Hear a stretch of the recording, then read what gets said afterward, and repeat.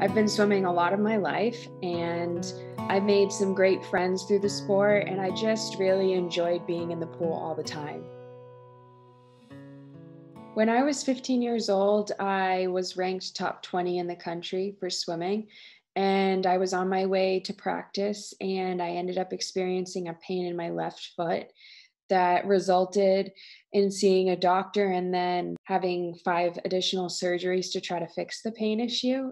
It led to me being in a walking boot for five years and living on crutches and then opioids to try to get through the day.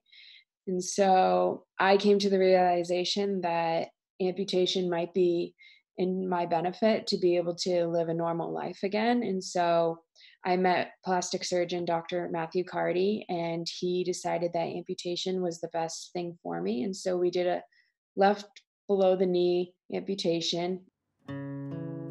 I decided to get back into swimming and I got into para swimming specifically, and I ranked um, national champion in two events. And then everything kind of started to deteriorate again when I started experiencing pain in my right leg. I had an angiogram that determined I had a lack of blood flow from mid calf down, which caused avascular necrosis throughout my entire foot and ankle.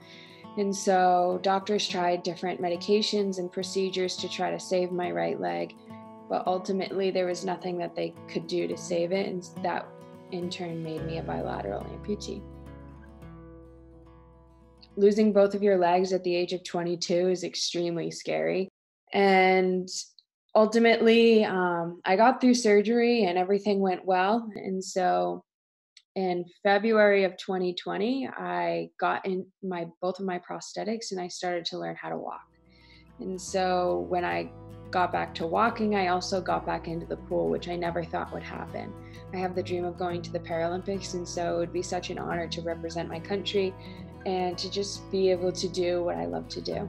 Working with Morgan is a constant reminder that um, anything that I think is an obstacle is an obstacle because I think it is, not because it actually is, right? It's my job to figure out how to overcome those obstacles. And she does that every day and reminds me of that every day.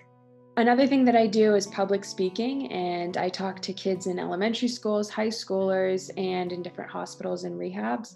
And so, by telling my story to other people, hopefully I can provide hope to them. And I just like to show other people that despite what you're going through in life, there's always hope um, at the end of the tunnel.